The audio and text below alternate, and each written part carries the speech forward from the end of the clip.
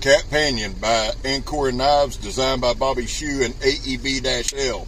Recon 1 XL by Cold Steel and CTS XHP. And the Bush Ranger Lite, my budget option, headed to Panama City.